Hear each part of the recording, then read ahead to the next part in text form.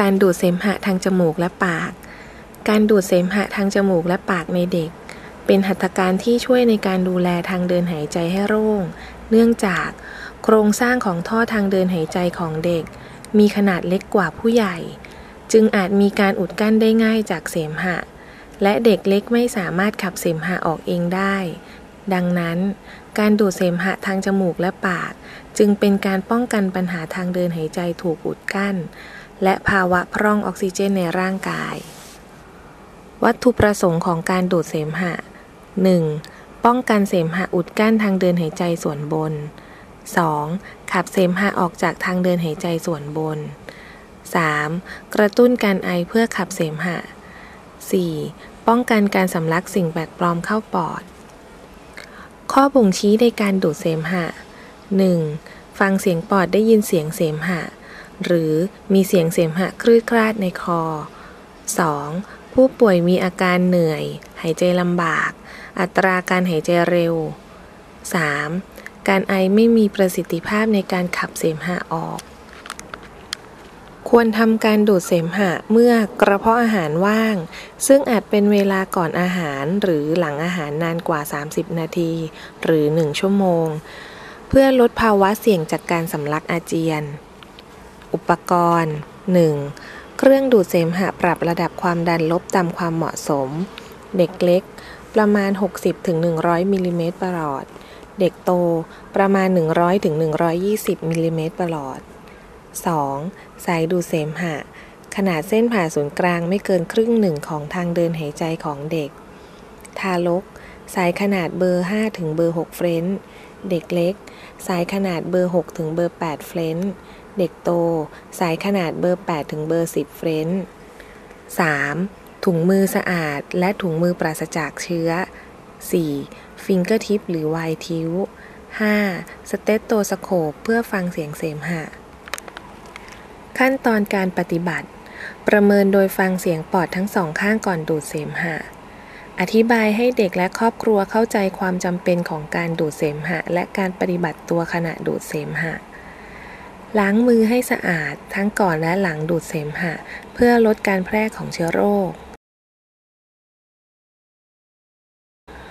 ห่อตัวหรือผูกยึดแขนเด็ก และจัดท่าเด็กนอนหันหน้าไปด้านใดด้านหนึ่ง เพื่อป้องกันการสำลักอาเจียน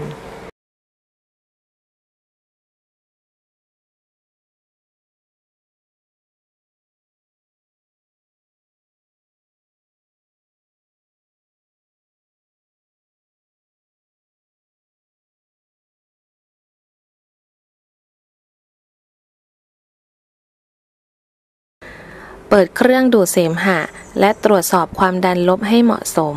โดยปิดรูเปิดของฟิงเกอร์ทิปด้วยหัวแม่มือและนิ้วชี้ของมือที่ถือสายจากเครื่องดูดเสมหะ สวมถุงมือปลอดเชื้อที่มือข้างถนัด มืออีกข้าง สวมถุงมือสะอาด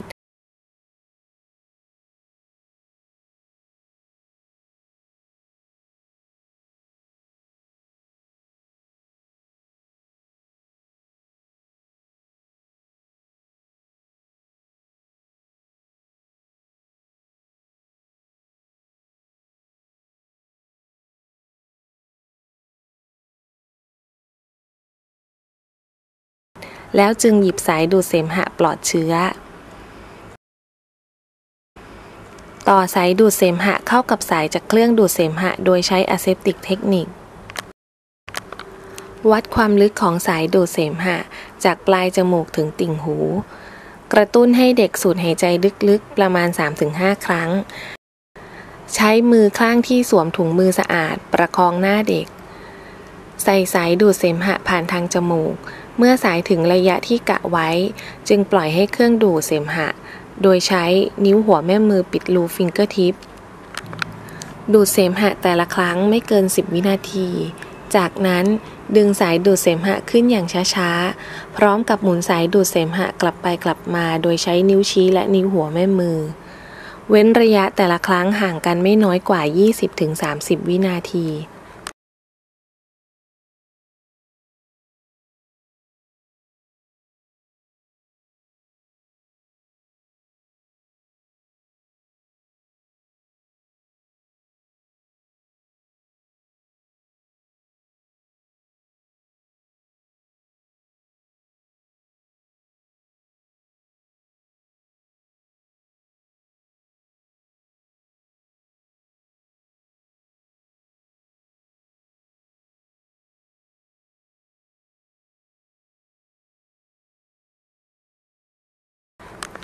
เมื่อดูดเสมหะทางจมูกจนหมดแล้ว จึงทำการดูดเสมหะในปาก วิธีการเช่นเดียวกับการดูดเสมหะทางจมูก ในกรณีที่เด็กไม่ให้ความร่วมมือ อาจต้องใส่ออโลฟาริงเจียลแอร์เวย์ในปากด้วย จากนั้นดูดเสมหะซ้ำจนกว่าทางเดินหายใจจะโล่ง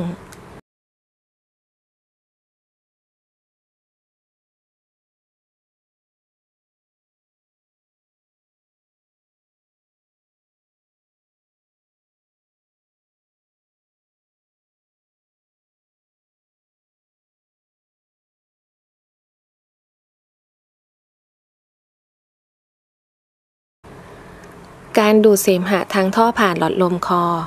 ปลดท่อผ่านหลอดลมคอออกจากเครื่องช่วยหายใจ และ hyperventilation โดยการบีบ self-inflating bag 3-5 ครั้งก่อนการดูดเสมหะ วัดความลึกของ